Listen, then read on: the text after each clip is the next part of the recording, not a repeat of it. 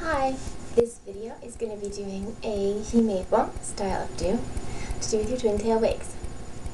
Now I've got my wig on my wig head and pulled back. I think this one really works really really well with short wigs. Um, with long wigs you're going to just leave it in the back and lightly groomed and lightly curled. Um, but it works really nice with short wigs because it does cover the whole back and gives it a long hair appearance. For this, I'm using both of my ponytails on claw clips. For this, what you want to do, and this is the main part of getting the whole style to work, excuse me, um, is to put the claw clips at a diagonal angle on both sides. So they're coming to a slight point in the front. So you'll put one on each side, and You'll have the hair falling over both sides.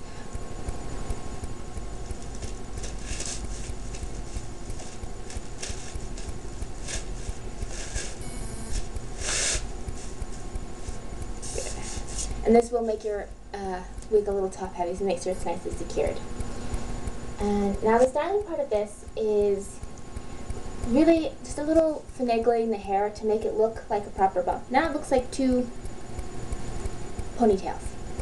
The point of this is we're going to use small bits from each side of the hair, and you just want to brush this out so it's very smooth, because you want it to create a smooth bump look, sort of like you'd use a bump it or one of those mm, things, one of those infomercial hair bump things, but this, since you have the clip, gives it basically its own bump it.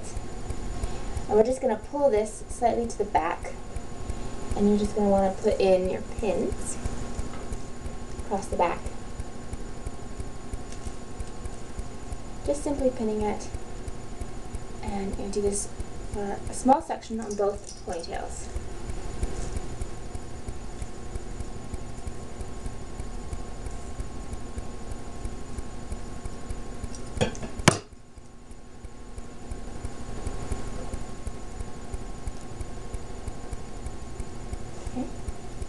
So it's got a more natural look of a bump.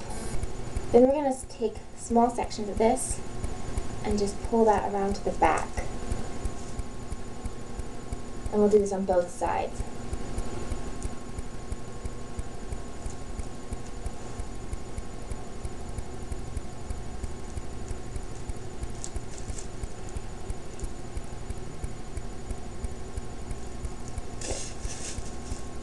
And I'm going play with this to make it look fairly natural.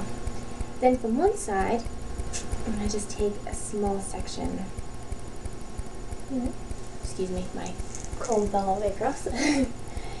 and you want to make sure this is really smooth because this is going to come in the front. You need that to be really nicely smooth. And I'm just going to pull this in front and give it a slight twist so it curls down the opposite side.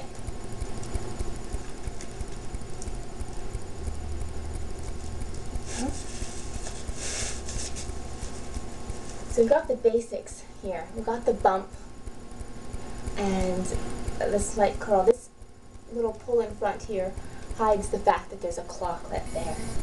And then we're just going to take some of the smaller bits and just pull them back. You can do this very simply. This is just to make it look uh, less off to the sides and more back focused. I'm going to swirl this around so you can see the back here. As you see, I've got the, the full ponytail pulled back all the way. And just separate a couple of pieces.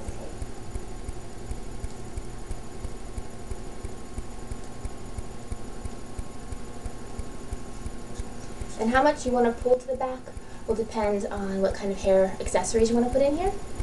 Um, if you have a hair accessory that's going to slide down the side of the front, you'll want to pull more back so there's more room for the hair accessory to sit. And if you've got a sort of sleeker hair accessory, you'll probably want to leave more to the front just to give a fuller appearance. So now that that's done, um, you want to just take that, and it really is just giving it a little bit of twisting here and there to make sure it looks pretty natural as natural as a big wiggle lip of the look, but you want it to look like it's all been styled from one wig.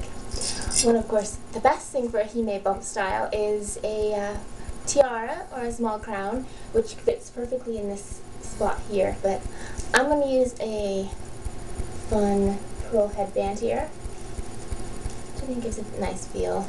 I'm also going to use a little fluffy bow on the side. Just right there. So that gives it a lovely, fun, princessy feel. And this can work really great with uh, sweet or hime styles. It probably would also really work for uh, hime gyaru if you happen to enjoy that style as well. Um, you can of course put any type of accessory in here. I think this looks really good with sort of that sort of statement flower. Perfect for spring. Um, and it's very fun. And if you also forgot this, if you have a long wig, I just pulled mine back into a ponytail for styling.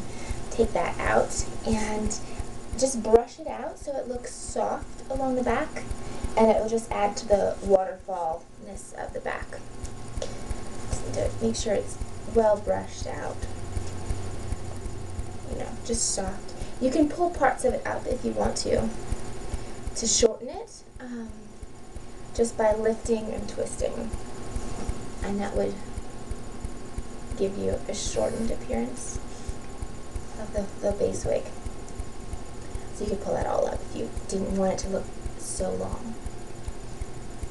So here is the finished style, and it's a nice quick style that gives a big impact. So I hope you'll try it, and I hope you'll watch my next video. Bye!